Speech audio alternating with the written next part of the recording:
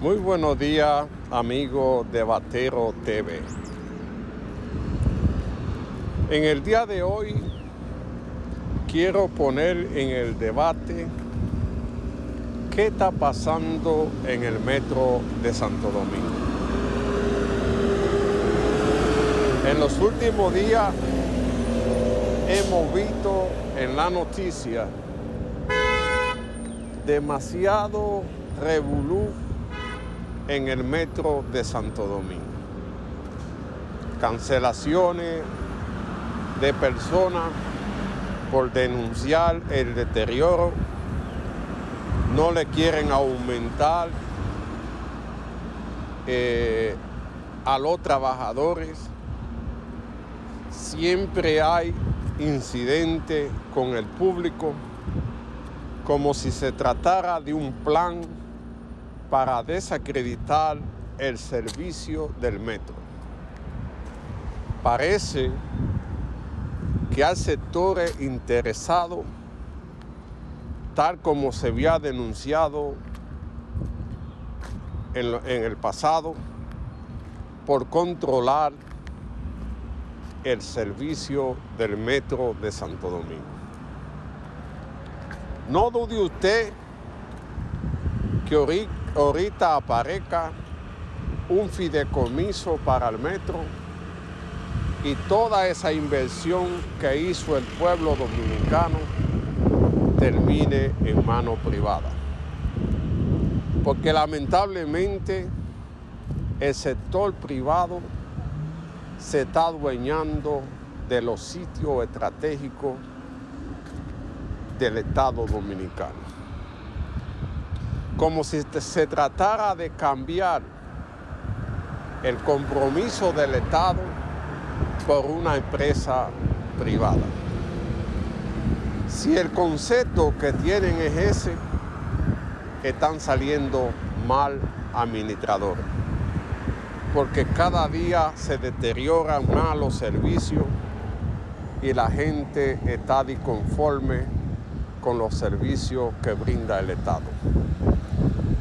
No hay un servicio que se muestre con calidad, a pesar del esfuerzo que quiera hacer el presidente, siempre sus funcionarios meten la pata y crean el descontento en la población dominicana.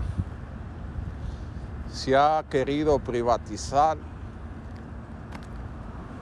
o darlo en fideicomiso,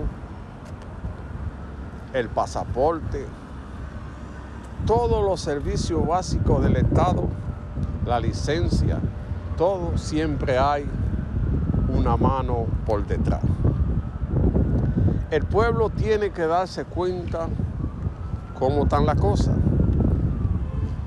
Que a veces hay funcionarios y hay candidatos que te dicen una cosa cuando son candidatos y luego hacen otra. Da vergüenza ver que el discurso que se hacía como candidato no es el discurso que se está aplicando como presidente. Hay que mirar bien para el 24 porque la situación está difícil para la República Dominicana. Soy de los que opino que la República Dominicana está en peligro. De seguir el deterioro que tiene en los servicios, se va a convertir en un caos igual que los vecinos y va a haber demasiados problemas. Usted no puede salir a la calle Usted no puede tener una educación de calidad.